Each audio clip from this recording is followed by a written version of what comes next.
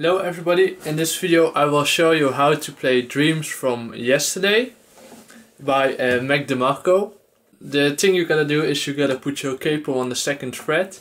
I will uh, play the song and put chord diagrams up here and after I've played the song I will tell you something about the strumming pattern.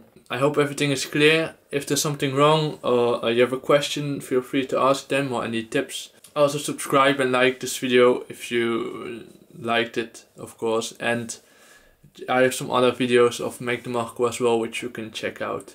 Thank you so much for watching so far and I hope everything will be clear.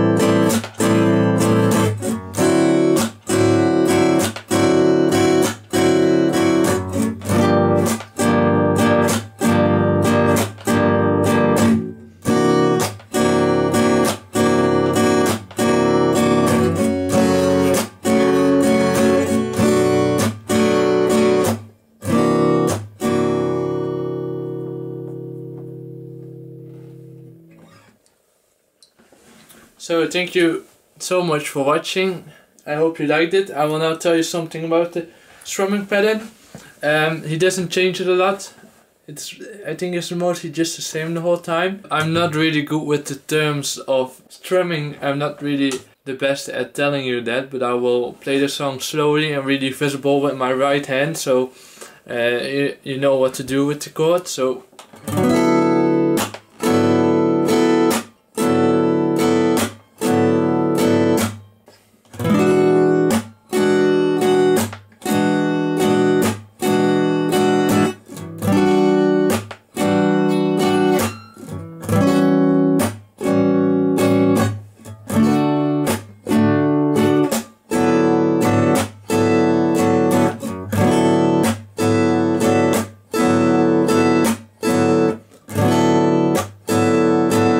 Only downstroke you hear is the, the first one uh, on playing every chord.